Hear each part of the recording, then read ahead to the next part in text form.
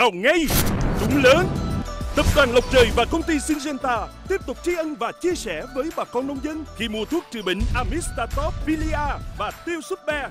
Bà con sẽ nhận ngay thẻ cào để có cơ hội trúng thưởng 4 giải nhất máy cày Kubota, 30 giải nhì xe quay Alpha, 50 giải ba máy phun thuốc Yokohama và hàng trăm ngàn giải thưởng khác. Tổng giá trị giải thưởng lên đến 9 tỷ đồng. Chương trình được thực hiện từ ngày 5 tháng 5 đến hết ngày 31 tháng 7 tại tất cả cửa hàng phân phối của tập đoàn Lộc Trời. Kính chào bà con nông dân và quý khán giả. Thưa bà con, những ngày qua thì các cơn mưa lớn đã xuất hiện trên diện rộng và đây là điều kiện thuận lợi để cho các loài nấm bệnh và vi khuẩn tấn công lúa ở giai đoạn cực trọng trên địa bàn tỉnh Trà Vinh. Chính vì vậy mà việc bảo vệ năng suất lúa trong điều kiện thời tiết bất lợi này như thế nào và làm thế nào để giúp lúa sáng bông lại hạt, đó là nội dung chính mà chúng tôi sẽ chuyển tải trong chương trình trực tiếp nuôi dưỡng và bảo vệ cây trồng do Đài Phát thanh Truyền hình Trà Vinh và Tập đoàn Lộc Trời phối hợp thực hiện. Và tham gia giao lưu với bà con trong chương trình ngày hôm nay, Kim Hiền xin được trân trọng giới thiệu giáo sư tiến sĩ Nguyễn Bảo Vệ, giảng viên cao cấp đến từ trường Đại học Cần Thơ. Xin trân trọng giới thiệu kỹ sư Trương Hùng Phong, chuyên viên kỹ thuật đến từ Tập đoàn Lộc Trời.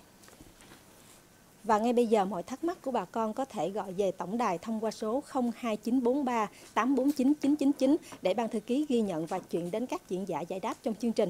Còn bây giờ mời bà con và quý khán giả cùng với chúng tôi đi vào nội dung của chương trình ngày hôm nay. Thưa bà con, mở đầu chương trình ngày hôm nay thì à, mời bà con cũng như là quý à, diễn giả cùng với chúng à, nhóm phóng viên của chúng tôi đi thăm đồng thông qua đoạn phóng sự sau. Biến đổi khí hậu đang tác động mạnh mẽ đến sản xuất lúa hè thu năm nay từ lúc lúa làm đồng đến trổ và trổ chính Mưa liên tục nhiều ngày làm giảm khả năng thụ phấn và làm gia tăng các bệnh hại trên bông. Cùng thăm đồng với bà con nông dân trên các trà lúa trổ và trổ chính nhận thấy bệnh hại trên đồng xuất hiện khá nhiều. Bệnh đạo ôn gây hại nhiều nơi trên bông lúa, như ở cổ bông, ở nhánh giá và cả cuốn hạt. Bệnh trái bìa lá vi khuẩn và bệnh lem lép hạt do nấm và vi khuẩn cũng rất dễ nhận thấy khi thăm đồng. Ruộng lúa này đang bước vào giai đoạn trổ chính và bị bệnh trái bìa lá gây hại khá nặng. Sau khi thử đếm số hạt trên bông ở ruộng lúa này, nhận thấy tỷ lệ hạt lép chiếm hơn 1 phần 3 số hạt trên bông. Bệnh hại đang có khuynh hướng gia tăng, làm cho nông dân lo lắng.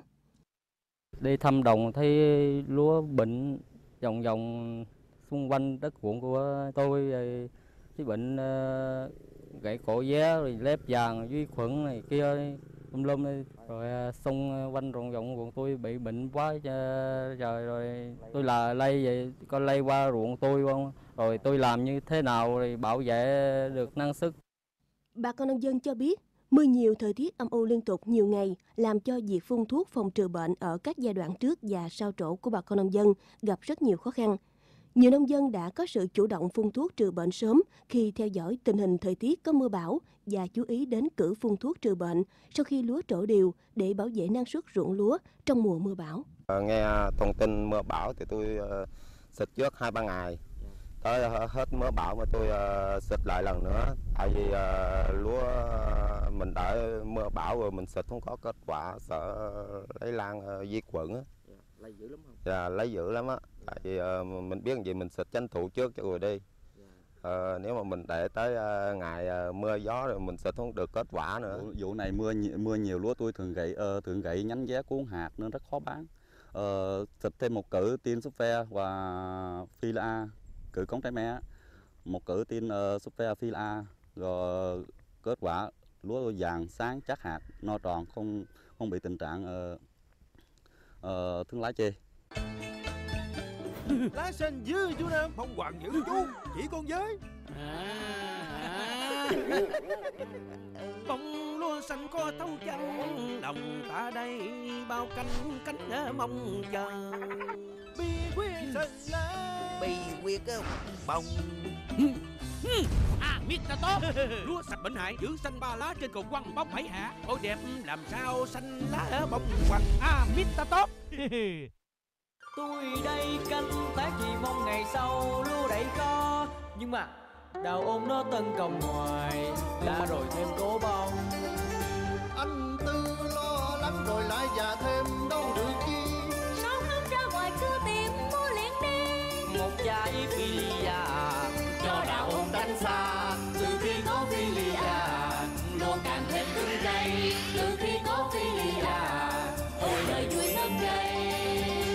nào ngay. Trúng lớn. Tập đoàn Lộc Trời và công ty Syngenta tiếp tục tri ân và chia sẻ với bà con nông dân khi mua thuốc trừ bệnh Amistatop, Vilia và Tiêu Super. Bà con sẽ nhận ngay thẻ cào để có cơ hội trúng thưởng. 4 giải nhất máy cày Kubota, 30 giải nhì Segway Alpha, 50 giải ba máy phun thuốc Yokohama và hàng trăm ngàn giải thưởng khác. Tổng giá trị giải thưởng lên đến 9 tỷ đồng. Chương trình được thực hiện từ ngày 5 tháng 5 đến hết ngày 31 tháng 7 tại tất cả cửa hàng phân phối của tập đoàn Lộc Trời.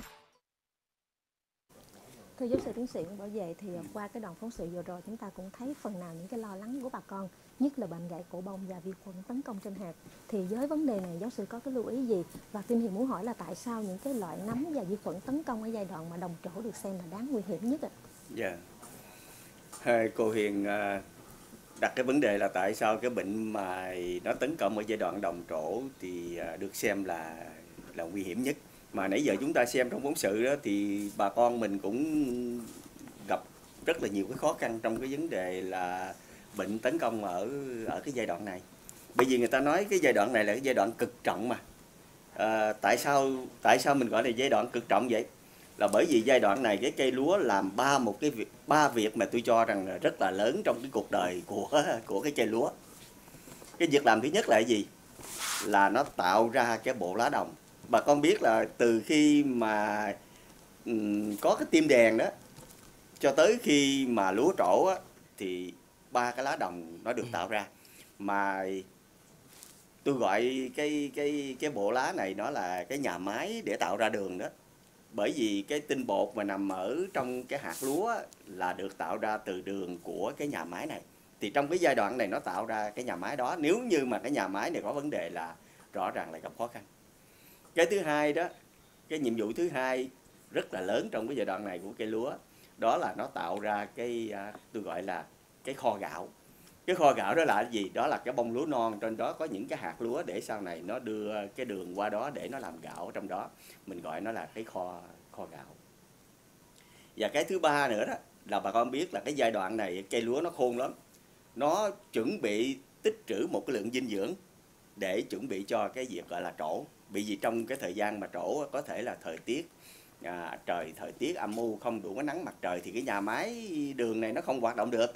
Thì lúc đó nó mất cái nguồn dự trữ mà được tạo ra trong cái giai đoạn mà đồng trổ này để để đem đưa gạo vô trong cái cái cái cái cái, à, cái kho nên chính vì vậy mà ở trong cái giai đoạn này nếu như mà cái nhà máy bị tấn công như nãy có ông nông dân tôi thấy là bị cái à, cái à, cái bệnh gọi là trái bị lá vi khuẩn đó thì chúng ta thấy là ông đếm cái số hạt ở trên bông nó lép rất là dữ. Thì đó là bởi vì nó, cái nhà máy nó bị tổn thương như vậy thì nó tạo ra không đủ gạo để mà đem vô trong cái à, cái kho dự trữ thì cái đấy là mình thấy rất là rõ. Còn nếu như trong trường hợp mà bệnh nó tấn công lên cái kho dự trữ gạo tức là làm tạo ra cái lem đép hạt ở trên hạt đó thì bà con thấy là bên này á nhà máy có tạo ra đường đi nữa, nhưng mà đem vừa qua bên này á, nó cũng không có tích lũy vô được. Thành thử ra nó tạo ra lẫn hoặc là lép. Nhưng mà một cái nguy hiểm mà rất là lớn đó, là bà con biết là cái gì không? Đó là cái con đường vận chuyển. Tức là bây giờ cái à, cái nhà máy, tức là cái cái bộ lá đồng này đó, nó tạo ra đường. Đường đâu phải nó chạy thẳng vô trong cái kho gạo, tức là những cái hạt lúa này, mà nó phải chuyển xuống cái bẹ lá rồi chuyển lên thân, rồi lên cái cổ bông để mà đem vô trong cái à, cái kho dự trữ là cái kho gạo. Nhưng mà nếu cái con đường vận chuyển này mà bị bệnh tấn công, như hồi nãy à, đặt ra, tức là gãy cổ bông, nông dân mình rất là sợ. Bây giờ cái con đường vận chuyển này mà bị ách tắc một cái rồi, đó là cái kho dự trữ này là rỗng tết. Thì bà con cũng đã từng thấy là cái tình trạng mà lúa mà bị gãy cổ bông, tức là con đường vận chuyển nó đưa đưa cái cái cái cái cái đường này không lên trên trên kho được thì nguyên toàn bộ cái kho dự trữ gạo này á, là trống không. Thành ra cái bông cái hạt lúa như vậy là lép hết thì rất là nguy hiểm. Nên cái chỗ của Hiền à, nói thì tôi nghĩ rằng bà con mình phải rất là cẩn thận trong cái điều kiện là cái thời tiết của cái mùa mà mưa bão như thế này. Thì cái bệnh nó rất là dễ tấn công ở trên cái cây lúa mình ở cái giai đoạn mà đồng trổ này. Dạ, xin cảm ơn giáo sư ạ. À. thưa kỹ sư Trương Hùng Phong thì à, với cái giai đoạn mà cây lúa nó đang tạo ra ba cái việc rất là quan trọng như là giáo sư à, về vừa trình bày cho chúng ta thì cái điều quan trọng lúc này là nông dân mình cần phải phun ngừa. Tuy nhiên thì phun ngừa đó là ngừa lúc nào là nó hiệu quả nhất bởi vì có người thì ngừa lúc lúa lo le trổ và có người thì lúc là ở một cái thời điểm khác gì thì kỹ sư có thể tư vấn thêm với nông dân mình có thể phun ngừa một cách có hiệu quả hơn không ạ? À, thưa bà con thì uh để cho bà con mình phân biệt lúc ờ, lúa lúc nào là lo le chỗ lúc nào là lúa chỗ lè sẹt để mình biết là mình khi mà người ta khuyến cáo bà con mình đưa vô thời điểm đó thì bà con mình biết được mình sử dụng. Đối với mà mình à, xác định à, người ta nói lo, lo le chỗ là bà con thấy thường thường mà sau cái thời điểm mà cây lúa nó ôm bắp đó bà con thì nó nhú lên khỏi cái cổ một hai bông là lo le chỗ. Còn như trên hình màn hình bà con thấy chỗ lạc sẹt chỗ lạc sẹt có nghĩa là cái bông nó đã chỗ thoát khỏi cái cổ rồi nhưng mà xa xa bà con thấy có con bông xa xa có con bông là gọi là chỗ là sẹt còn trong trường hợp mà lúa lo le chỗ thì ờ, tôi vừa nói là cái bông nó vừa nhú ra khỏi cái cổ lá cờ thôi. Như trên hình bà con thấy là cái đó là lo le chỗ. Và cái tiến trình nó từ ôm bắp cho đến lo le chỗ là nó khoảng 2 đến 3 ngày. Như trên hình bà con thấy cái hình số 1 đó là lúa ôm bắp. Sau đó 1 đến 2 ngày là bắt đầu lúa nó le chỗ. Thì bây giờ hiện nay bà con có cái kinh nghiệm là người ta đưa vào cái thời điểm lúa le, lo le chỗ thì nó sẽ tốt hơn. Tại sao? Bà con biết là thường thường á, là khi mà cái lúa nó chỗ thoát ra thì cái lá đồng là cái lá là kêu là cái máng sói bà con. À bà con thấy trên cái hình, hai cái lá cờ mà khi mà lúa nó trổ thoát ra thì cái vai trò của cái ờ, lá đồng mà con thấy nó nghiêng qua một bên và nó hứng nó là cái mắng xối để nó hứng. Thành ra có cái vi khuẩn thì nó hứng vi khuẩn, có nấm bệnh thì nó hứng nấm bệnh và khi mà cái chỗ, cái bông nó trổ thoát ra như vậy á, thì nó dính chỗ nào thì nó bệnh chỗ đó. Thành ra thường thường bà, người ta khuyến cáo bà con mình là nên phun ngăn chặn sớm để nó à, đừng có ảnh hưởng lên cái bông cũng như là đừng ảnh hưởng lên hạt thì cái hiệu quả nó cao. Thành ra người ta à, khuyến cáo bà con mình là đưa vào thời điểm lo le chỗ để mình diệt cái nguồn nấm à, trên cái máng xối đó đi. Rồi sau đó cái bông nó chỗ thoát ra thì nó được an toàn. Và đối với di vẫn là bà con mình phải quyết tâm mình làm theo cái thời điểm cái thời điểm lo le chỗ thì nó hiệu quả cao hơn. À, và bà con nói bây giờ phun cái thuốc di khuẩn ở à, bằng cái tô tan ở cái thời điểm nào để mình an tâm. Thường thường mình thấy là lúa mà từ làm đồng trở về sau bà con quan tâm hai đối tượng thôi thứ nhất là cái cháy bị lá. Cái thứ hai là cái lép vàng. Cháy bị lá thường nó xuất hiện từ làm đồng tới lúc chỗ điều. Còn lép vàng là nó xuất hiện trên bông. Thành ra chỗ bắt đầu chỗ lẹt xẹt tới chỗ điều là nó mới xuất hiện. Thành ra mình muốn ngăn ngừa đó là sau đón đồng à, một ngày mình đưa cái tô tan mình phối hợp với cái Abatop mình đưa vô để mình quản lý cái vi khuẩn. Và sau đó mình lặp lại ở thời điểm chỗ lẹt xẹt và chỗ điều. Hai lần nữa thì mình quản lý được cái cháy bị lá cũng như là cái lép vàng. Nó thành công hơn. Thì đó là các thời điểm mà chúng ta xử lý tô tan làm đồng chỗ lẹt xẹt và chỗ điều để quản lý cái vi khuẩn trên lúa trong cái vụ mùa trong cái mùa mưa này Dạ, như vậy thì với cái mùa mưa như hiện tại mà nhiều nông dân thì phun cái tô tan thì có cần phải uh, chú ý thêm về vấn đề mà mình phun xịt là quan tâm thêm để mà coi coi nó, nó như thế nào mà để mình tăng cái liều lên được không cái sư?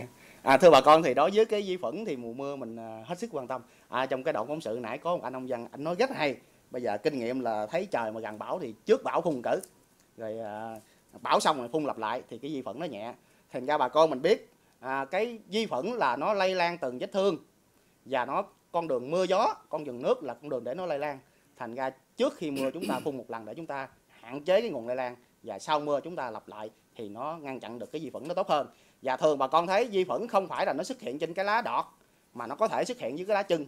Thành ra chúng ta phun cái lượng nước ít như vậy thì nó không đủ để nó nó chảy đều trên cái mặt lá. Thành ra cái hiệu quả chúng ta quản lý rất là khó à, do đó chúng tôi khuyến cáo bà con mình đối với cái trà lúa mà làm đồng trở về sau á làm sao khi mà anh phun là phải phun cho tăng lượng nước lên có nghĩa là một công một ngàn ba là phải hai bình 25 lít như vậy thì cái lượng nước nó đủ nhiều để nó chảy đều trên tất cả các mặt lá đều có thuốc như vậy thì cái khả năng nó quản lý bệnh cũng như là quản lý vi khuẩn trong cái mùa mưa này nó sẽ tốt hơn. Dạ, xin cảm ơn kỹ sư Trương Hồng Phong ạ. Thưa phó giáo sư tiến à, thưa giáo sư à, Nguyễn Bảo Vệ thì à, lúa trổ mà gặp mưa thì sẽ ảnh hưởng năng suất rất là lớn và nông dân thì thường có xu hướng là phun những cái loại thuốc mà để mà kích thích cho cái bông lúa nó trổ thì như vậy thì có ảnh hưởng gì hay không ạ? cái à, để có thể trao đổi được cái cái vấn đề mà cô Hiền mới vừa đặt ra đó thì tôi nghĩ rằng bà con mình cũng cần phải hiểu uh, trổ là một cái thời kỳ mà cái dương lóng, nghĩa là cái cái cái cái cái lóng thân á, nó dương thật lẹ để mà nó đẩy cái ờ, cái bông lúa ờ, ra bên ngoài. Mà bà con biết đó là ở cái giai đoạn này mà nó đẩy ra bên ngoài thì thường thường bà con mình rất sợ là nếu cái lóng mà nó được kích thích mà nó dương dài ra quá thì nó dẫn tới cái chỗ gọi là đổ ngã mà nếu như bà con mà không không không không rõ cái này thì bà con rất ngại rất ngại cái chỗ là bây giờ nếu mình đưa cái chất kích thích vô nó dương dài cái lóng để mà nó đẩy lẹ cái bông ra thì tới chừng nữa cái thân lúa nó ốm nó ngã rồi sao? Cái đó bà con yên tâm. Bây giờ cái này là qua cái thời gian mà chúng tôi khảo sát thì thấy rằng khi mà cái cây lúa mà bắt đầu mà à, chuẩn bị trổ đó thì cái lóng mà dễ bị à, uh, công để làm cho ngã nhất đó là cái lóng thứ ba và thứ tư từ trên để đếm xuống. Nếu bà con mà bây giờ tước cái cái cái cái cái thân lúa ra đó thì cái lóng thứ nhất ở trên cùng giáp lại với cái cổ bông đó mình gọi là cái lóng một. Rồi tới cái lóng hai. Thì lúc mà trổ thì lóng một lóng hai này phải dương dài thật lẹ để mà đẩy ra bên ngoài. Trong khi lóng ba và lóng bốn á, thì không không có dương trong cái giai đoạn này. Nên như vậy là bà con biết là khi mà lúa trổ thì lóng 3 và lóng 4 là cái lóng mà dễ bị cong và làm cho cái lúa mà ngã dứt đó thì hai cái lóng này nó không còn bị tác động bởi cái việc gọi là chất kích thích để làm cho nó dương lóng nữa. Thành thử ra nếu mà cái giai đoạn này bà con mình có xử lý cái chất kích thích để mà cho nó trổ thoát nhanh á, thì cũng không lo cái vấn đề về đổ ngã. Cái đó là cái thứ nhất mà tôi nghĩ rằng bà con mình à, à, hiểu để mà yên tâm. Còn cái thứ hai mà cô hiền hỏi gì chứ nó có ảnh hưởng đến có lo ngại ảnh hưởng đến cái bông lúa hay không? Cái này á, thì bà con thấy rằng là cái bông lúa của mình á nó trổ thường thường là phải mất từ à, khoảng cỡ từ 5 cho tới 7 ngày để mà nó thoát hết ra ở bên ngoài. Thì cái phần mà ở ngoài chóp á, bà con biết là nó chín trước là bởi vì nó nó thoát ra khỏi cái cái bẹ lá, cái bẹ lá cờ trước. Nên như vậy là nó thụ tinh và rồi nó bắt đầu nó vô gạo trước. Rồi những cái ngày kế tiếp, những ngày kế tiếp rồi cái, những cái hạt lúa kế tiếp nó mới được đẩy ra như vậy là cái thời gian mà để một cái một cái bông lúa mà đẩy ra khỏi cái bẹ của cái lá cờ thì bà con biết là mất vào khoảng cỡ chừng từ 5 tới 7 ngày. Mà nếu mà nó mất vài ngày như vậy đó thì những cái hạt lúa đầu, những cái hạt lúa mà ra trước thì có một cái thuận lợi là bởi vì cái bộ lá cờ đó là còn rất là khỏe, nên nó tạo ra được nhiều đường như cái phần đầu hồi nãy tôi có trao đổi đó. Đó là cái nhà máy để tạo đường, để đem vô cái kho, tức là ở những cái hạt lúa này thì những cái hạt lúa mà ra trước thì rất là có có cái thuận lợi là bởi vì cái à, cái bộ lá đồng này còn khỏe. Nhưng mà những cái hạt mà ở trong cậy á là sau đó là khoảng 5 7 ngày nó mới đẩy ra hết thì những cái hạt này mới bắt đầu tích lũy ờ, ờ, đưa đường từ ở bên cái nhà máy đưa qua. Thì lúc này cái hoạt động của cái bộ lá cờ á, cái bộ lá đồng đó thì nó lại là yếu dần. Nên chính vì vậy nếu như mà trong trường hợp mà cái à, cái bông lúa mà đẩy thoát lại nhanh để mà trong cái giai đoạn mà cái cái à, cái bộ lá đồng này còn khỏe đó thì nó giàu gạo nó sẽ nó sẽ tốt hơn. Thì cái điều đó là cái điều là chúng ta thấy là cần thiết phải cho cái à, cái bông lúa trổ thoát thật nhanh là vậy. Còn cái trổ thoát thật nhanh nó còn có một cái lợi nữa đó là bà con mình rất ngại là trong cái mùa mưa này đó. Nếu như mà nó trổ kéo dài như thế này á, thì có thể là ba ngày đầu thì trời nắng ráo nhưng mà còn chờ khoảng cỡ chừng hai, ba ngày sau, tức là cái bông lúa nó chưa có trổ ra hết thì những cái bông mà, những cái hạt lúa mà trổ sau đó, mình gọi là cái cái hoa lúa mà trổ sau đó, mà gặp mưa một cái rồi thì cái sự thụ tinh, thụ phấn của nó sẽ có vấn đề. Như vậy là cái việc giàu gạo nó sẽ gặp khó khăn. Nên nếu như mà trong cái thời gian nắng ráo như thế này mà lúa trổ thoát thật nhanh thì đó là một cái, gọi là, điều kiện để mà chúng ta giúp cho cái bông lúa này thoát khỏi cái tình trạng là nếu mà như gặp nhỡ mà gặp mưa đó thì nó sẽ bị thiệt hại ở những cái à, cái hạt ở trong cậy đó nó sẽ không có xảy ra thì như vậy nó sẽ thuận lợi hơn cho cái việc uh, thụ phấn thụ tinh cho cái bông lúa. Dạ, dạ, xin cảm ơn giáo sư ạ. À. Như vậy thì để cho giúp lúa có thể là trổ rộ, trổ nhanh hơn và vô gạo chắc hơn trong cái điều kiện mà mưa gió như vậy thì kỹ sư Trương Hồng Phong có những cái lưu ý gì ạ? À, thưa bà con thì à, nói với chỗ rộ chỗ nhanh thì người ta nhắc đến cái bơm lower bà con thì à, bơm lower người ta à, chúng tôi đưa vào cái à, thị trường Việt Nam mình với mục đích là cái sản phẩm kích hoạt. Và hiện nay trên thị trường đối với bơm lower là một sản phẩm kích hoạt có thể là nói là mạnh nhất hiện nay bà con. Và người ta chúng tôi đưa vào cái thời điểm là cái thời điểm làm đồng và thời điểm lo le chỗ. Tại sao? Bà con mình biết thường thường là thời điểm làm đồng là cái cây lúa nó tập trung dinh dưỡng cũng như là điều kiện để cho nó nó nó nó tạo bông thành ra có những điều kiện bất lợi như vậy nên nó làm cho cây lúa chúng ta nó sượng, thành ra nó trổ rất là chậm. Thành ra đưa bơm vào cái thời điểm làm đồng thứ nhất rễ yếu mà làm cho rễ nó sung lên. Và cây nó yếu thì cây nó cũng sung, thành ra cây nó sung mà rễ nó cũng mạnh đó thành ra nó hấp thụ cái phân bón mà mình bón đóng đồng á, nó mạnh mẽ hơn. Thành ra cái khả năng mà nó tạo được cái bông nó bự hơn. Và cái bông bự thì cái nhiều hạt, cái đó là cái đầu tiên mà bà con chúng ta nên đưa vào cái vừa thời điểm làm đồng. Cái thời điểm thứ hai là cái thời điểm chỗ lẹt xẹt. Bà con biết á cái vụ đông sưng á là chỗ mình thấy bà con thấy lúa chỗ rất là nhanh nhưng mà cái vụ hè thu bà con thấy nó chỗ chậm. Và chỗ chậm mà gặp mưa gió thì bà con thấy nó rất là bất lợi về vấn đề mà quản lý dịch hại cũng như là cái lem lép. Nó thành ra mình đưa bơm vào cái thời điểm mà lo le chỗ ở thời điểm này để mình kích hoạt để cho cây lúa chúng ta nó chỗ nhanh hơn chỗ thoát gỗ hơn. Và bà con biết mình khi mà lúa nó chỗ gỗ vậy đó thì sau này lúa nó chín nó đồng đều hơn. Và khi chúng ta quản lý sâu bệnh á chúng ta xịt nó cũng dễ dàng hơn. Thì uh, qua thực tế chúng tôi sử dụng cái bơm lower ở thời điểm mà lo le chỗ á, thì khi chúng ta sử dụng cái bơm thì mình thấy là nó chỗ hơn trước hơn cái lúa bình thường mình hai ba ngày. Có nghĩa là bình thường mình thấy lúa mình chỗ là từ là sẹt tới chỗ đều là khoảng 7 ngày. Nhưng mà đối với chúng ta sử dụng cái bơm thì mình thấy 5 ngày là nó chỗ đều rồi. Thành ra đây là cái điều kiện thuận lợi trong mùa mưa mà chúng ta nên đưa cái bơm vào chúng ta xử lý. Và nhắc lại với bà con mình hai thời điểm để mình đưa bơm vào. Thứ nhất là sau làm đồng chúng ta có thể phối trộn với amitatop với totan để chúng ta quản lý cái vi khuẩn rồi bơm là kích hoạt còn giai đoạn chỗ lạc sẹt thì mình lặp lại một lần nữa thì cái bơm nó sẽ giúp cho cái lúa bà con chỗ thoát nhanh hơn chỗ gỗ hơn thuận lợi hơn trong cái vụ hè thu này Dạ, xin cảm ơn kỹ sư Trương Hùng Phong. Thì một số nhà nông khi mà sử dụng bơm lower đến thời điểm này thì Kim Hiền biết là một số nông dân người ta có à, vấn đề người ta nghiện cái bơm lower này và cần phải phun giống như là kỹ sư Trương Hùng Phong vừa khuyến cáo. Tuy nhiên thì anh Lê Văn Hải ở Châu Thành Trà Vinh á, ảnh cũng sử dụng cái bơm lower và ảnh cho hay là mấy năm trước thì ảnh xài bơm lower lúc trổ lẹt xẹt rất là tốt và lúa trổ đồng loạt tập trung khoảng 4 năm ngày đã trổ xong. Và bây giờ thì anh thấy mưa gió cứ liên tục như vậy đó thì anh định cũng tiếp tục phun là cái Totan Amitatop bơm lower nhưng mà tăng cái liều bơm lower lên gấp đôi như vậy thì kỹ sư Trương Hùng Phong thấy cái cách làm này nó có ổn không ạ? À, thưa anh cùng bà con thì đối với bơm lower thì à, người ta nhà sản xuất người ta đưa vào thị trường và người ta đã tính tính được cái à, cái liều lượng là bao nhiêu là để nó phù hợp cho cái đồng ruộng của mình thành ra đối với bơm lower anh không cần tăng liều mình chỉ cần sử dụng một lít cho một hecta thôi là nó đảm bảo cho lúa của mình là phát triển tốt và chỗ nhanh chỗ gộ trong cái vụ hè thu này. Dạ xin cảm ơn kỹ sư Trương Hùng Phong ạ. Tôi tôi tôi cũng ờ, nhất trí với ý kiến của anh ờ, anh Phong đó. Bà con mình ờ, cần phải phải xác định cho thật là rõ cái phân bón lá nó nó khác lại với cái cái chất mà những cái chất kích thích sinh trưởng đó. mình gọi là chất điều hòa điều hòa sinh trưởng đó. Ngay cả cái phân bón lá cũng vậy nữa. Bà con mà dùng cái liều mà cao thì nó sẽ có thể là gây ra trái lá còn đối với cái chất điều hòa sinh trưởng thực vật á, bà con bắt buộc là phải sử dụng đúng theo cái chỉ dẫn của cái nhà sản xuất. Bởi vì nếu mà mình dùng với một cái nồng độ thấp nó không phải là như phân bón đâu dùng cái nồng độ thấp thì nó sẽ không có tác dụng. Mà phân bón á, thì dùng nồng độ thấp thì nó cũng như là cho ít thì ăn ít cho nhiều thì ăn nhiều. Nhưng mà đối với cái chất điều hòa sinh trưởng thực vật là bà con giảm liều á, thì coi như là không tác dụng. Rồi bà con thấy nó có tác dụng rồi bà con tính là tăng liều gấp đôi lên đó, để cho cái tác dụng nó nhiều hơn thì lại cũng không phải nữa. Bởi vì tăng liều gấp đôi như vậy á, nhiều khi nó có cái tác dụng ngược. Nghĩa là cái cái chất điều hòa sinh trưởng thực vật á, giống như cái bà con nhớ trước bà con xài hai bốn d không? Hai bốn d mình dùng với cái liều thật là loãng á, thì nó lại là kích thích sinh trưởng. Nhưng mà dùng với cái liều cao á, trở thành cái thuốc trị cỏ. Tức là nó hại cây nên cái chỗ này thì bà con phải, đúng là phải nghe theo cái khuyến cáo của kỹ sư phong để mà xài cho nó thật là đúng cái nồng độ thì mới đảm bảo an toàn cho cây lúa của mình.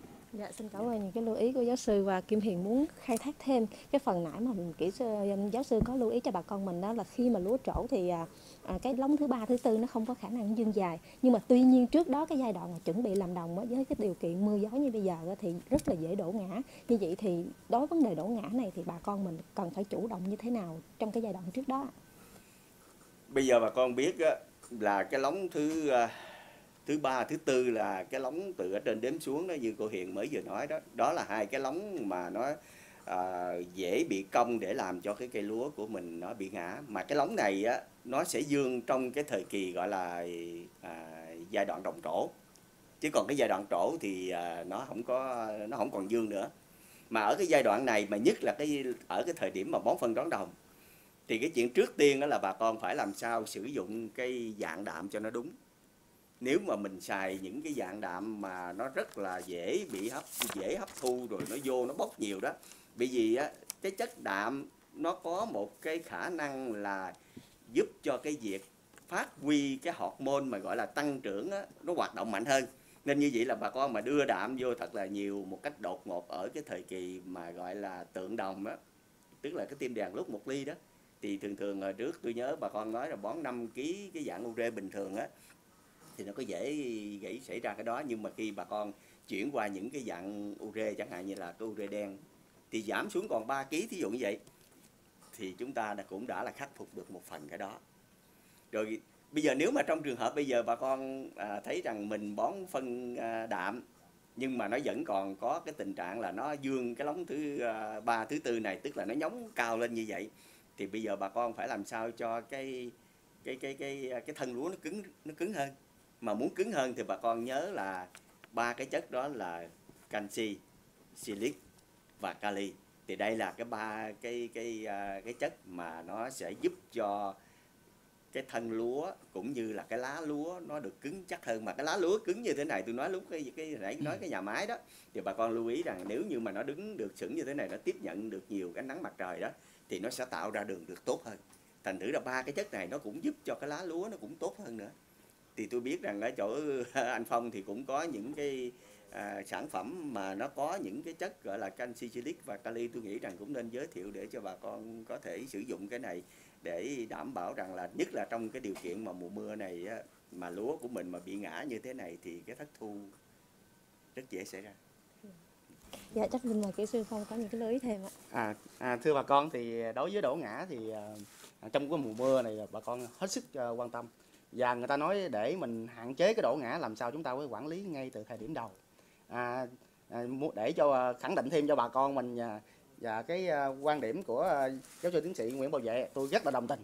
À, qua cái hình này chúng ta có thấy được là thầy à, nói là lúa thường là nó ngã ở cái lóng thứ ba và cái lóng thứ tư. Qua cái bệnh thứ hai bà con thấy những cái ô mà tròn tròn chúng tôi phanh dùng á là cái đó là nếu mà ở trên chúng ta đếm xuống á là nó nằm ở cái lóng thứ hai và lóng thứ ba. Và thường cái lúa nó cong là nó cong chỗ đó. Thành ra bà con làm sao phải gia cố được cái lóng khúc này thì mình mới hạn chế được cái đổ ngã trong mùa mưa. Và mình biết nó tạo lóng mình gia cố lóng thành ra mình coi cái thời điểm nào là nó nó nó nó, nó ra cái lóng này. Và người ta nói ở thời điểm làm đồng là cái thời điểm tạo lóng mà con.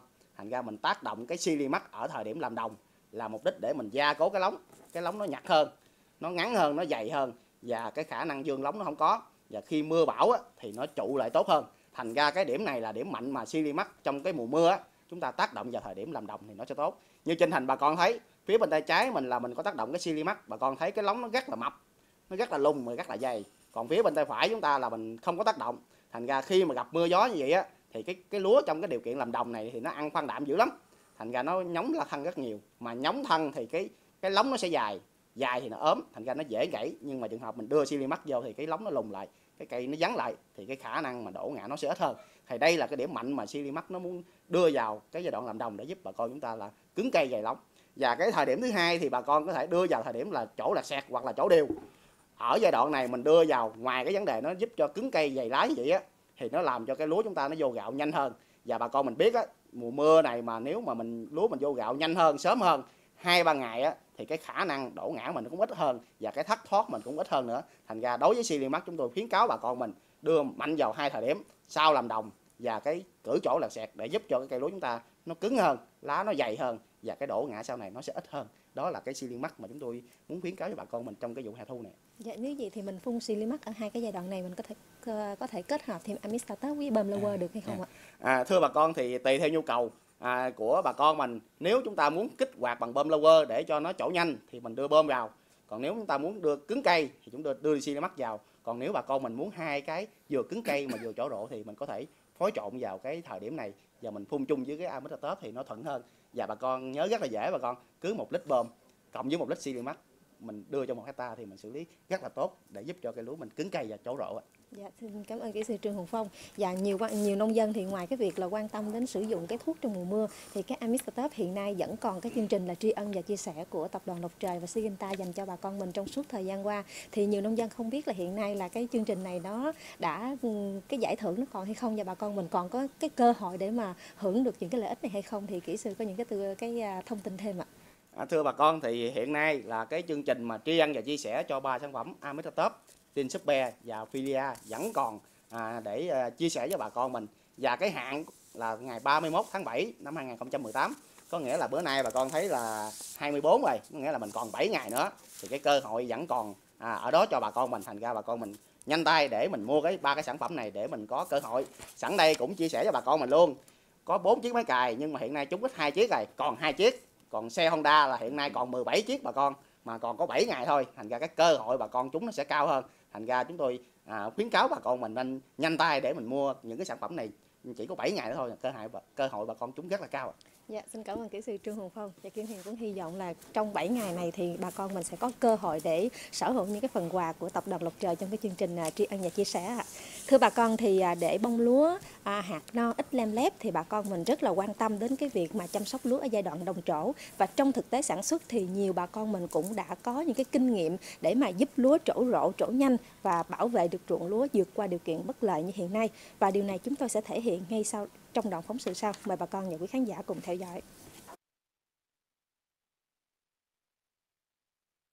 Trong điều kiện thời tiết mưa bão như hiện nay, không chỉ dịch hại phát sinh nhiều mà quá trình thụ phấn vô gạo trên cây lúa cũng bị ảnh hưởng và nhất là tình trạng đổ ngã trên cây lúa sau khi trổ đều làm giảm năng suất và gia tăng chi phí sản xuất. Kề bên nhau nhưng hai thửa ruộng có sự khác biệt lớn. Một bên đã đổ ngã và màu lá đã chuyển sắc vàng, còn một bên cây lúa rất cứng cáp, bộ lá vẫn còn xanh.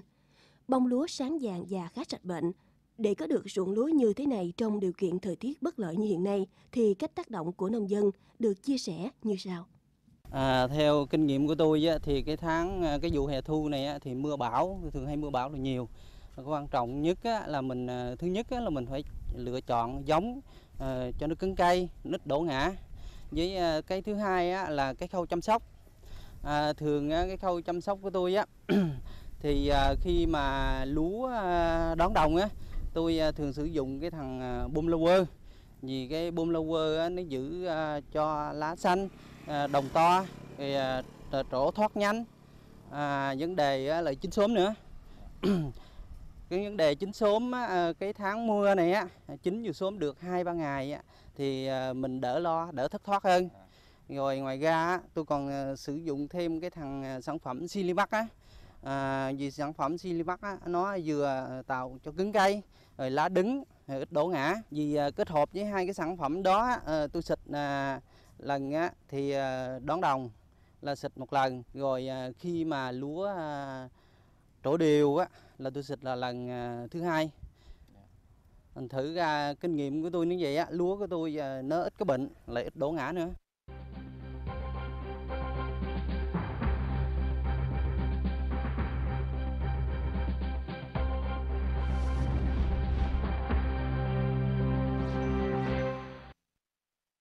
Thưa giáo sư, bây giờ thì đoạn phóng sự vừa rồi cũng thấy được là những cái kinh nghiệm của bà con mình trong cái việc mà bảo vệ ruộng lúa ở giai đoạn mà nhạy cảm hiện nay. Thì giáo sư có những cái nhận xét như thế nào?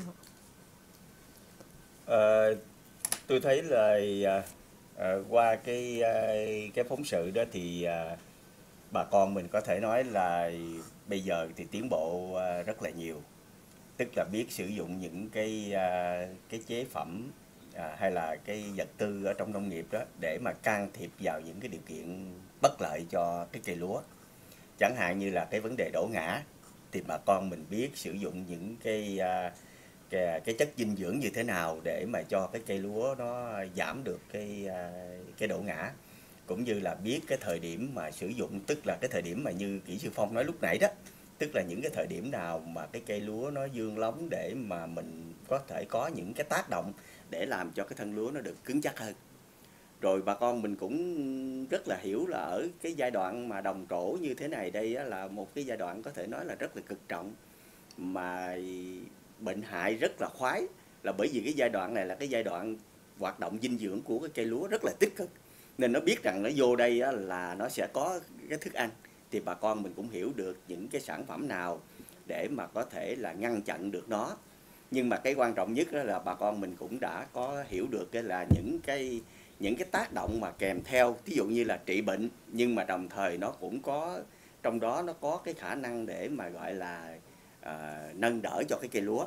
Ví dụ như là thuốc trị được cái bệnh đậu ôn nhưng mà kéo dài được cái màu xanh của cái lá làm cho cái lá như vậy là nó nó nó nó nó xanh bền hơn.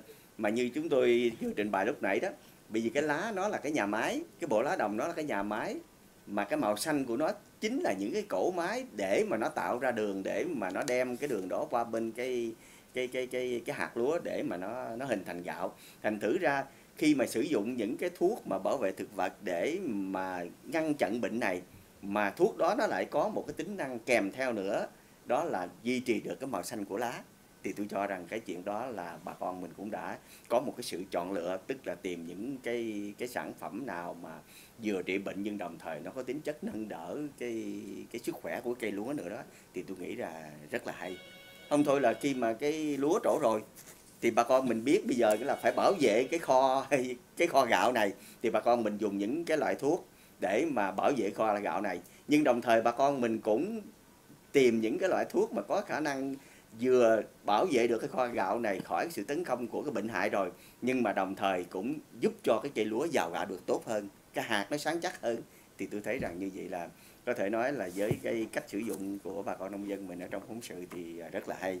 Nhưng tôi nghĩ rằng là có lẽ là cái cái phần này nếu như mà được thì anh Phong cũng có thể giới thiệu thêm với bà con những cái tính năng mà vượt trội bên cạnh cái việc mà sử dụng để mà trị bệnh rồi, thì nó có những cái tác động kèm theo để nâng đỡ cái cái cái, cái sức khỏe của cây lúa để mà gọi, mình gọi là những cái lợi ích kèm theo đó thì tôi nghĩ rằng cái đấy là không phải sản phẩm nào cũng có ừ. cái đấy là rất là hay Yeah. Dạ, xin cảm ơn giáo sư. Như vậy thì kỹ sư Phong có thể là cho biết về cái lợi thế của sản phẩm của mình mà hiện nay là nông dân là bên cạnh cái trị bệnh mà mình còn có những cái tác dụng mà giúp cho cây lúa nó xanh bền hơn hay không ạ? À, thưa bà con thì à, à, đối với quan điểm của thầy thì tôi rất là đồng tình về cái quan điểm làm sao ngoài cái chuyện chúng ta là bảo vệ cái lá đồng thứ hai là chúng ta phải làm sao bảo vệ cái kho. Và cái thứ ba làm sao chúng ta có cái tác động gì đó để chúng ta nâng đỡ để cho cái cái kho này được đầy đặn hơn. Thì à, trong trường hợp mà mình để cho cái hạt gạo chúng ta mà nó à, vô gạo nhanh hơn cũng như là sáng mẩy hơn trong cái mùa mưa này thì một trong những giải pháp mà hiện nay là chúng tôi đưa vào à, cho bà con mình áp dụng rất là hiệu quả đó là cái sản phẩm là hai potassium C30 thì à, đây là bà con biết là đây là cái sản phẩm mới của tập đoàn mới ra được hai vụ thôi bà con và bà con cái đặc biệt của cái hai potassium C30 này đây là cái kali mà dạng kali full watt bà con. À, chút xíu chắc à, nhờ giáo sư tiến sĩ à, Nguyễn Bảo Vệ cũng à, à, chia sẻ thêm cho bà con mình cái kali mà dạng full watt đó thầy để bà con hiểu hơn về cái cơ chế cũng như là cái hiệu quả thấm sâu khi chúng ta đưa vào cây trồng đặc biệt trong mùa mưa này. Và cũng chia sẻ thêm với bà con mình khi đưa cái hai potassium C30 này vào điều kiện mà mùa mưa này á chúng tôi đưa vào nó chỉ có hai cái mục đích để giúp cho bà con mình. Thứ nhất là nó chống lạnh bà con cái thứ hai là nó giàu cậy. Và cái thời điểm chúng ta xử lý á, là hai cái thời điểm chúng tôi khuyến cáo bà con mình là thời điểm công trái me và thời điểm đỏ đuôi bông cái. Đây là thời điểm mà cây lúa nó tập trung để nó giàu gạo. Thành ra chúng ta tác động vào hai thời điểm này để cho cái lúa chúng ta nó giàu gạo nhanh hơn nó no hơn. Và có một cái là bà con thấy là à, thường cái mùa mưa này bà con à, thường rước hạt nhưng mà rước hạt là nó không có khi trúng có khi chặt nhưng mà đối với C30 này chúng tôi đưa vô bà con mình khuyến cáo mình phun ở hai thời điểm đó mình có thể thay dần cái phân bón rước hạt trong cái hè thu này và đối với cái liều lượng chúng tôi khuyến cáo bà con mình là một lít cho một hecta và bà con mình à, thấy cái hai potassium C30 rất hay bà con khi mà điều kiện mưa gió thì phun cái hai potassium C30 vô nó không bị cháy lá nó không bị ngộ độc đây là cái khác biệt nhất của có hai potassium C30 so với những sản phẩm kali bên ngoài của thị trường ạ. Dạ, xin cảm ơn kỹ sư Trương Hùng Phong. Thưa giáo sư à, Nguyễn Bảo Vệ thì khi mà kỹ sư Trương Hùng Phong phân tích như vậy thì Kim Hiền cũng có một cái à, nhớ lại là nông dân của mình thường có cái tập quán là mình à, đã vô hạt chắc rồi yeah. Dạ. mà lại muốn rước hạt nặng hạt thêm thì thường thường là nông dân mình hay bón kali yeah. Dạ. và thường là những cái phân kali à, hóa học đó như vậy thì với cái phân tích của kỹ sư phong vừa rồi thì à, giáo sư có thể cho biết là mình thay đổi bằng một cái kali full phát như vậy thì nó có có những cái lợi ích như thế nào? Yeah. À, trước khi tôi tôi trao đổi cái cái vấn đề mà cô Hiền mới vừa đặt ra đó thì tôi cũng trở lại cái mà hồi nãy tôi cũng có nói là nhà nông của mình bây giờ cũng am hiểu sử dụng những cái vật tư ở trong cái nông nghiệp để mà can thiệp vào những cái yếu tố bất lợi hoặc là chọn những cái cái vật tư nông nghiệp mà nó có cái tính ờ, cũng như là vượt trội đó tức là thêm đó. Bởi vì ngay từ đầu chương trình à, tôi cũng thấy có một cái giới thiệu là cái xanh lá hoàng bông. Thì có nói tới cái cái, cái amistatop thì cái đấy là tôi nghĩ rằng đó cũng là một cái mà cũng nên cho bà con hiểu cái cái à, cái đó thêm. Có nghĩa là bên cạnh cái việc mà trị cái bệnh mà mà mà bốn cái bệnh như là giới thiệu ở trên đó thì nó còn có một cái tính năng là nó Xanh giúp lá. cho cái lá nó xanh. Mà tôi thì tôi rất thích cái này. Vì tôi là cái một cái nhà nông học mà nên rất là quan tâm tới cái việc là cái màu xanh của cái à, cái cây trồng. Bởi vì cái màu xanh cái nhà máy này có thể nói là tới ngày hôm nay chưa có nhà khoa học nào thay thế cái màu xanh của cái lá đó để mà làm ra cái gọi là đường bột rồi này kia cho cái con người của mình. Mà tới ngày hôm nay chúng ta trồng cái cây lúa hoài thì cũng vì cái màu xanh đó đó. Cái màu xanh đó làm ra đường đường đó nó mới chuyển vô trong cái cái cái hột lúa mà tôi gọi là cái kho gạo đó để nó biến thành gạo. Mình trồng cái lúa là cuối cuối cùng là để được cái đó. Mà muốn được cái đó thì phải có cái màu xanh này. Nên tôi rất tâm đắc cái vấn đề màu xanh. Nên tôi cũng kỳ vọng là kỹ sư phong cũng ờ, chia sẻ cái cái cái ờ, cái đó. Cũng như là tới cái kho gạo cũng vậy nữa. Cái kho gạo á, thì mình phải làm sao? Bên đây á, tạo ra đường rồi thì bên đây là cái kho nè. Làm sao mà cho đường này á, nó chuyển vô đây cho thật là lẹ là thật là nhiều. À, mà muốn mà cho thật lẹ thật nhiều như vậy thì tôi nhớ là có những cái ờ, giới thiệu là cái tin super thì lại là nó có cái vấn đề sáng sáng hạt thì cái vấn đề đó là nó ngăn chặn những cái nấm bệnh tấn công để làm sáng hạt. Thì cái chuyện đó ờ, khỏi phải nói rồi bởi vì cái đấy là cái nhiệm vụ của của của, của một thuốc trị bệnh thì phải làm cái chuyện đó. Nhưng mà kèm theo cái chỗ là nó có một cái tương tác lại với một cái hormone trong cây là cái abscisic acid á, tức là ABA đó. Tôi cho rằng cái đó rất là quan trọng. Mà cái đó khi mà nó có một cái tác động lên trên cái hormone đó rồi thì khi mà xử lý thuốc vào thì cái sự tích lũy đường từ bên này nó đẩy qua bên này rất là lẹ mà đi cùng lại với cái chỗ mà cô Kim Hiền hỏi là cái chất kali đó. Bởi vì bà con biết cái chất kali nó là dinh dưỡng chứ không phải là cái thuốc trị nha. Kali nó là một trong ba cái uh, dưỡng chất đa lượng mà bà con nói NPK đó. Thì cái chất kali này á, nó có ở cái giai đoạn mà lúa mà mà mà trổ rồi á thì nó có một cái khả năng tức là giúp cho cái việc vận chuyển đường từ cái bên bên đây là cái lá nè, bên này là cái bông nè thì nó nó có cái kali mà tôi gọi rằng nó là một cái chất của chất lượng đó tức là nó đưa cái cái cái cái cái, cái dinh dưỡng đường bột từ ở bên cái lá ở bên này á đem qua bên này. Thì như vậy thì bà con thấy rằng nếu như mà ở bên cái lá này mà có đầy đủ kali thì sự di chuyển của cái chất dinh dưỡng này nó trở nên rất là tốt. Thì bà con mình có lẽ là trong thời gian qua cũng hiểu được cái chuyện đó thấy được cái gọi là cái lợi ích của kali. Nên bà con nghĩ rằng khi mà lúa trổ rồi á thì đem kali bón xuống đất như thế này, chắc có lẽ là kali nó chạy lên đây, nó sẽ làm được cái việc đó tốt. Nhưng mà bà con phải hiểu cho một cái việc như thế này. Cái rễ lúa nó sẽ hấp thụ kali nhưng mà cái rễ này á, nó sẽ trở nên bắt đầu lão quá khi lúa bắt đầu trổ nên mà khi lúa đã trổ rồi, bà con muốn rước hạt, bà con liền kali dưới bắt cái rễ như vậy là phải ăn cái kali này đem vô. Thì lúc đó giống như tôi vậy đó, răng cỏ này kia nọ nó già rồi, nên ăn nó cũng không ngọt không còn hiệu quả nữa nên cái cái thứ nhất là bà con thấy rằng bà con kỳ vọng rằng cái rễ nó ăn cái chất kali này một cách nó hiệu quả thì tôi báo với bà con là cái rễ nó đã bị lão hóa. Mà bên cạnh cái lão hóa đó, nó còn cái nữa là gì? Cái rễ này giả sử như rằng bây giờ nó còn có khả năng ăn đi, thì nó cũng cần một cái nguồn năng lượng để mà nó ăn. Nhưng mà năng lượng lúc này bà con biết là trên lá này tạo ra đường bột hả?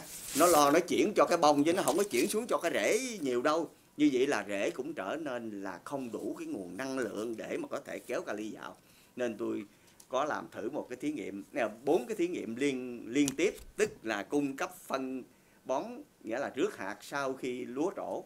Thì bà con thấy là bốn cái thí nghiệm của tôi là cho thấy rằng là không làm tăng được cái chất khô hay là cái tinh bột ở trong cái à, cái hạt lúa. Thành thử ra có một cái giải pháp khác. Nếu như bà con thấy rằng cái lá lúa của mình có thể là thiếu kali nên nó không được thì bà con phải sử dụng cái cái cái cái cái, cái biện pháp là cung cấp thẳng trực tiếp lên trên lá. Mà nãy là kỹ sư phong cũng có giới thiệu rồi đó.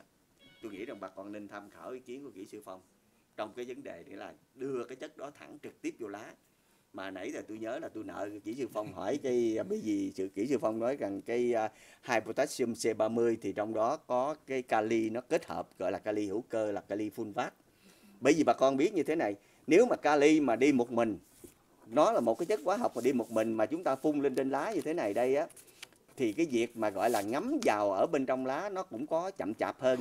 Nếu như mà nó đi kết hợp với một cái à, gọi là cái mùng hữu cơ cái mùng hữu cơ đó là fulvic fulvic và đi với kali ta gọi là kali fulvat khi hai ông này đi chung với nhau đó thì chính cái fulvic acid nó sẽ làm cho cái sự xuyên thấm cái chất kali vào ở bên trong nó nhanh hơn.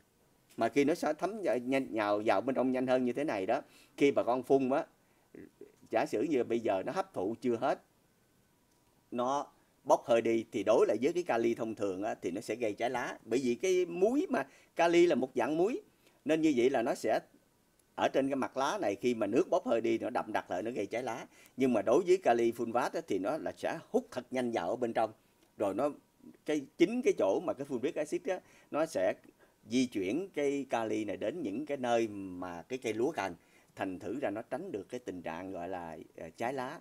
Nên cái chỗ này nó hạn chế được cái trái lá. Nên cái chỗ này tôi nghĩ rằng bà con mình cũng ờ, tham khảo để có thể là như tôi nói lúc nãy đó, bà con mình cũng ờ, nhất là nông dân đồng bằng sông Cửu Long rất hiểu am hiểu tìm hiểu những cái sản phẩm mà có cái giá trị vượt trội đó để mà chúng ta sử dụng cho nó có cái cái hiệu quả thì đây cũng là một cái sản phẩm mà tôi cho rằng cũng rất là hay thì bà con mình cũng à, nên nghiên cứu tham khảo để mà có thể khai thác sử dụng nó.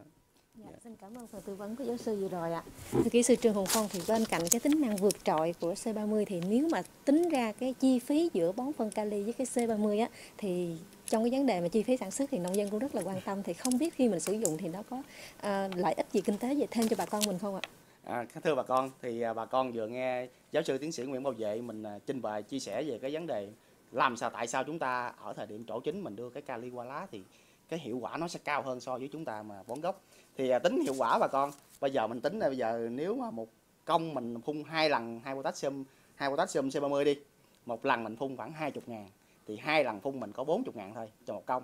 Còn nếu mà chúng ta mà rước hạt thì bà con biết là hiện nay nếu mà mình muốn rước kali á, thì ít nhất một công bà con cũng phải sử dụng 5 kg mà bà con à, tính thử bây giờ 5 kg mà kali 60 hiện nay giờ một kg nó cũng khoảng 10 ngàn nó dao động khoảng 10 ngàn.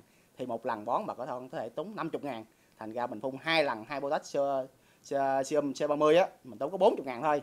Nhưng mà mình bón phân nước hạt là mình tốn tới 50 ngàn. Thành ra mình phun cái C30 này cái hiệu quả nó tốt hơn nó cao hơn nhưng mà cái chi phí của bà con nó lại giảm hơn cái đó là cái thuận lợi mà chúng ta nên cân nhắc để chúng ta đưa vào cái vụ hè thu này ạ. Dạ, đó với những cái à, nhà nông mà cái diện tích lớn thì Dạ. sẽ càng tiết kiệm được cái chi phí Dạ. nhiều hơn ạ. Dạ. Dạ xin nhưng cảm ơn kỹ sư cái chỗ này tôi ạ. nghĩ rằng uh, kỹ sư phong uh, còn chưa tính hết cái cái chỗ này bị vì cái chỗ mà kali fulvat thì cái việc gọi là cái cái cái uh, cái vai trò của kali thì cái chuyện đó rõ rồi nãy giờ mình bàn nhiều rồi nhưng mà chúng ta chưa tính tới cái vai trò của fulvic Dạ. cái fulvic đi kèm với kali đó tức là thay vì mình phun cái loại mà kali hóa học á, thì nó chỉ có kali thôi. Còn đằng này mình dùng cái kali hữu cơ tức là cái fulvic thì bên cạnh cái việc tác động của kali nó cái chuyện đó là đã đằng như tôi đã nói nhưng mà còn tác động của fulvic acid mà cái fulvic acid nó là một cái mùn hữu cơ và bà con biết là hàng trăm năm nay người ta thấy những cái tính năng à, của nó ở khi mà nó được vào ở trong cây á thì nó kích thích cho cái cái à, cái sự phát triển của cây. Nếu như mình mình xài ở những cái giai đoạn mà cây tăng trưởng thì nó có một cái tính năng đó. Còn ở những cái giai đoạn khác thì chính cái fulvic acid nó cũng kích hoạt cho cái hệ thống mà gọi là kháng bệnh của cái cây nữa. Đấy đấy là những cái mà người ta thấy rằng ngay cả người ta đã sử dụng những cái chất này để mà ờ, ngâm ủ hạt giống á thì người ta cũng thấy rằng cái sự nảy mầm nó cũng sẽ tốt hơn. Tức là nó có một cái cái, cái tính gọi là cái kích hoạt giống như là cái hormone nữa nên đấy là cái mà tôi nghĩ rằng khi mà người ta kết hợp hai cái chất đó lại với nhau thì nó cũng có cái, gọi là cái ý đồ. Bên cạnh cái việc kéo cái kali để đi vào tốt hơn, nhưng mà bản thân của từng chất, từng kali và từng cái phun viết nó đều có những cái cái cái cái cái cái tác động nhất định lên trên cái cây lúa nữa. Ừ. Dạ, xin cảm ơn phần tư vấn rất là cụ thể của hai diễn giả vừa rồi để cho bà con mình có một cái sự lựa chọn khi mà sử dụng những cái sản phẩm để mà có thể rước hạt và làm cho cái hạt nó to hơn, mẩy hơn và sau này sẽ bán được giá cao hơn ạ. À, tiếp tục chương trình thì anh à, Sơn Sơn Thông ở à, Phước Hưng Trà Cú anh có hỏi là vi khuẩn gây lép vàng và cháy bìa lá thì cái nào nó nguy hiểm cho năng suất lúa hơn? Với câu hỏi này thì à, nhờ giáo sư sẽ tư vấn cho anh ạ thì cái chỗ này hồi nãy thì chắc là em à, à, sơn Thon có nghe tôi nói rồi đó. Cái năng suất lúa nó sẽ được tạo ra, một là phải có cái nhà máy để mà tạo ra đường, hai là phải có cái kho gạo để mà nó dự trữ cái đường này để là làm ra gạo. Bây giờ em lấy cho, em đặt cho tôi trong một cái tình huống, nghĩa là rất là khó xử. Một bên thì tấn công vô nhà máy, tức là cái à, cái cái cái bệnh, em gọi là cháy bề lá vi khuẩn. Cháy bề lá vi khuẩn tức là nó tấn công vô cái lá đồng tức là tấn công vô nhà máy. Còn bên đây lép vàng là nó lại tấn công vô trong cái cái kho chứa. Thì tôi nghĩ rằng nếu mà nó, nó tấn công bên nào cũng dẫn tới cái chỗ là hại cái năng suất cả thôi. Bây giờ em làm cái kho cho thật tốt em giữ cái kho thật tốt mà bên này cái nhà máy em nó bị hư thì như chị lấy đường ở đâu mà đem vô để tích lũy bên đây. Và ngược lại nếu bây giờ em giữ cái cái cái cái nhà máy này cho thật tốt nhưng cái kho này hư thì nhà máy này tạo ra đường để đem trữ ở đâu để cho em xài giờ thành ra tôi nghĩ rằng cái thách thức của em tôi nói rằng cả hai đều đều đều như nhau hết trơn À, thưa kỹ sư Trương Hùng Phong thì anh Phúc ở Tiểu Cần Trà Vinh có hỏi là hiện tại thì trà lúa giai đoạn đồng trổ à, chỗ chính đã xuất hiện cháy bìa lá theo từng chòm đảo ôn cổ bông vậy thì sử dụng thuốc gì để đặc trị và phun như thế nào thì cho đúng ạ? Dạ, yeah. à, thưa anh Phúc cùng bà con, à, đối với cháy bìa lá bây giờ anh nói giai đoạn đồng trổ chính nhưng mà không biết là lúa anh nữa bao nhiêu ngày nữa thu hoạch. Nếu lúa anh mà 20 ngày nữa anh thu hoạch thì à, anh không cần xử lý tại lúc này nó đã gây hại xong rồi, mình tác động vô nó không có hiệu quả. Còn trong trường hợp mà lúa anh chỗ lạc sẹt tới cái chỗ đều hay là công trái me đó, nếu mà có cái cháy bìa lá thì bắt buộc anh phải phun lại. Và trong trường hợp này thì anh đưa cái tô tan vào anh quản lý kèm với cái à, PVA để anh quản lý luôn cái độ ôn của bông. Thì cái à, à, cái hiệu quả giữa hai sản phẩm này nó giúp cho anh quản lý cái cháy bìa lá dưới độ của bông trong cái tình tình hình lúa của anh hiện nay. Còn trong trường hợp mà bây giờ nó xuất hiện theo chòm rồi thì cái mức độ này nó nặng hơn. Thành ra ngoài cái chuyện mình xử lý cái tô tan để mình ngăn chặn cái vi khuẩn này bên cạnh đó mình phải tác động thêm cái vôi bột để mình khoanh dùng cái dùng mà nó bị lây lan bị cái vi khuẩn đó, đó để chúng ta hạn chế cái lây lan. Và đối với cái trường hợp này tôi khuyến cáo anh là mình làm sao mình giật đứt ra để cho vi khuẩn nó đừng lây. Và sau đó anh dùng cái vôi bột á cái vôi anh mua ngoài vật liệu xây dựng á anh về anh gãi lên những cái lỗ mà nó bị cháy bị lá theo chòm đó để mình khoanh dùng nó đừng cho lây. Và sau đó khoảng 2 đến 3 ngày thì anh lặp lại bằng một lần nữa bằng cái tô tan thì nó hiệu quả tốt hơn ạ. À. Đó là cái lưu ý uh, chia sẻ của anh. Dạ, xin cảm ơn kỹ sư Trương Hùng Phong ạ. Tiếp theo thì mời giáo sư tiến sĩ Nguyễn Bảo Vệ tư vấn cho anh Doanh ở Phước Long Bạc Liêu là lúa hiện tại đang trổ gặp mưa thì phun thuốc à, thì gặp sau 30 phút thì thuốc có bị rửa trôi hay không ạ? Và nếu có thì có cần phun lại hay không ạ? Uhm, cái này à, em Danh à, đặt tôi trong một cái tình huống có thể nói là rất là khó xử. Tôi nói bây giờ bên ngoài mà trời đổ mưa, nếu như người nào mà chạy nhanh vô trong nhà thì người đó không có bị ướt, người nào mà đi tạ tạ bên ngoài thì người đó bị ướt.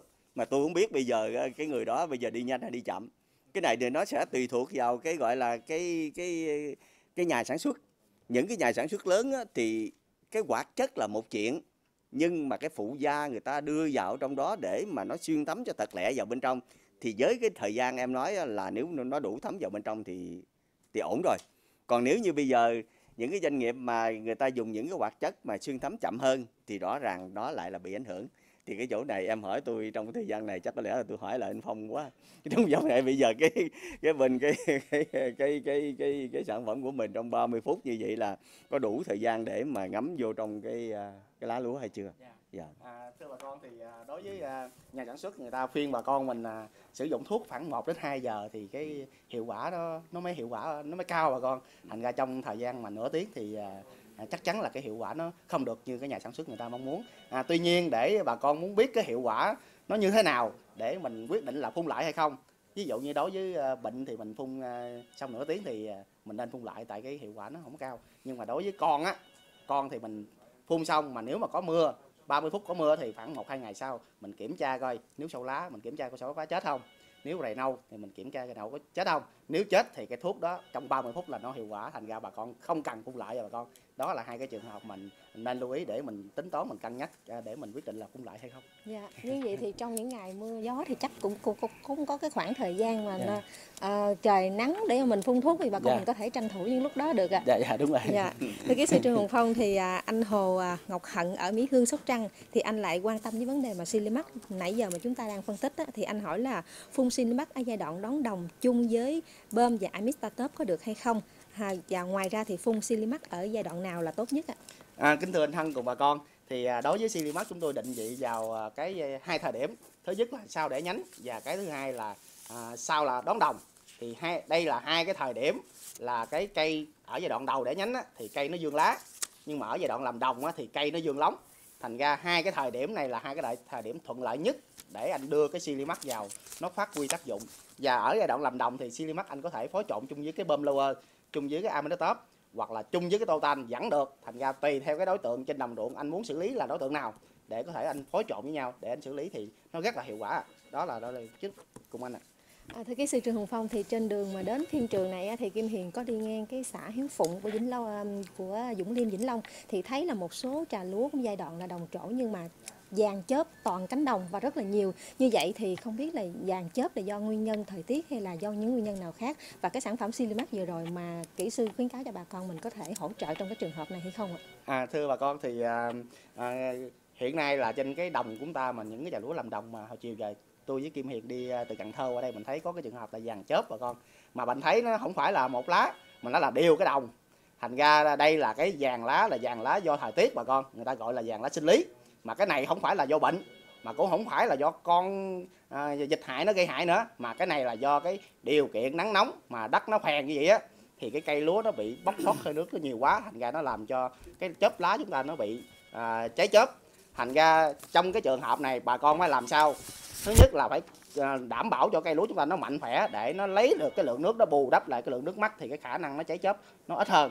Và cái thứ hai là mình làm cho cái lá lúa nó dày lại thì cái khả năng mà nó nó nó nó cháy chớp nó cũng nhẹ hơn. Thành ra trong trường hợp này bà con phải làm sao là giữ cái nước trong ruộng của bà con để cho cái nước này nó giữ ấm cho cái rễ mình. Bà con thấy thường thường mà lạnh là cái rễ nó nó nó co lại hết trơn à thành ra mình đưa nước vô để cho cái nhiệt độ nó đảm bảo. Thì cái rễ nó phát triển cho ra và nó hút nước lại để nó bù đắp lại cái đó. Và cái phía trên chúng ta tăng cường cái silimax. Silimax ở đây trong đó nó có hai cái chất bà con, là cái kali và silic nó giúp cho cái lá chúng ta nó dày hơn, thành ra cái khả năng mà mắc nước nó sẽ ít hơn. Thành ra trong trường hợp mà vàng lá sinh lý, bà con có thể mạnh dạng đưa cái silimax vào. Khoảng 3 đến 4 ngày sau rồi bà con thấy cái cái lá lúa chúng ta nó sẽ có, những cái lá còn lại á, nó sẽ không có bị cháy chớp và cái lúa chúng ta khắc phục sau 3 đến 4 ngày. Xin cảm ơn kỹ sư Trương Hùng Phong. Cô Hiền tôi tôi xin tham gia cái cái cái chỗ nãy mà tôi nghe anh Phong nói là chốt cái sử dụng cái Silimax ở hai cái thời điểm đó. Yeah. Thì cái chuyện đó là của cái nhà sản xuất thì à, nghiên cứu ở những cái thời điểm mà cực trọng để mà đưa vào thì tôi tôi không có ý kiến. Nhưng mà tôi cung cấp thêm thông tin cái này để cho bà con mình lưu ý.